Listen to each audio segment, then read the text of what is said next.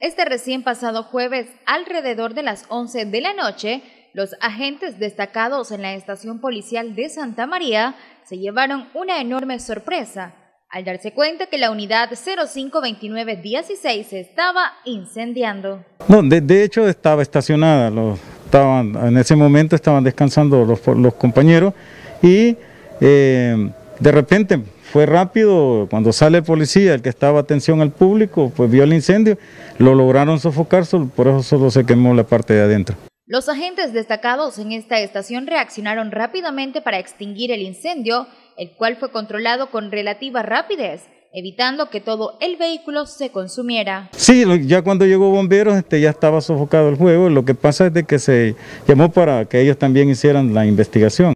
Momento solo el agente de atención al público se encontraba laborando, mientras los demás efectivos estaban descansando, cuando ocurrió el incidente que es atribuido a desperfectos mecánicos. De hecho, las patrullas ya están, tienen, ya están viejas y son, tienen bastantes desperfectos mecánicos, la mayoría de patrullas que son de esa, de esa época de patrulla.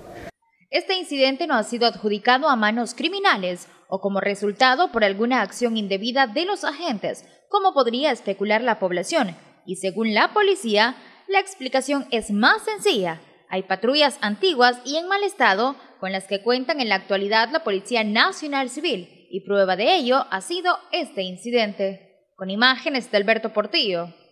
Stephanie Cruz, Impacto Noticias.